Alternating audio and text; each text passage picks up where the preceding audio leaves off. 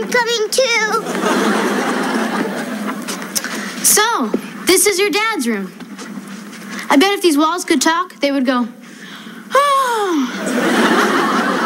So, Deej, what are we doing in here? Well, I'm in here because I'm gonna borrow one of Dad's shirts and ties. You're in here because you're a pain. I resent that. I resent that too. Your dad has a box of baking soda in his underwear drawer? Kimmy, don't touch that. My dad can tell if you move anything an inch. Now, I'm just gonna get a shirt and tie and we'll be out of here. Mm, this one looks good.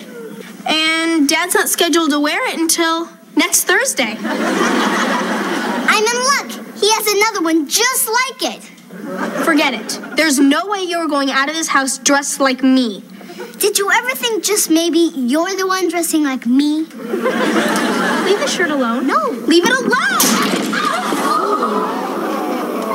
You're in big trouble, mister.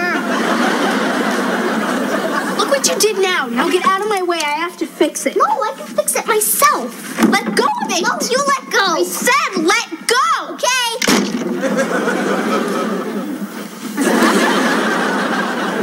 Well, I can see by the old hole in the wall that it's time for me to go.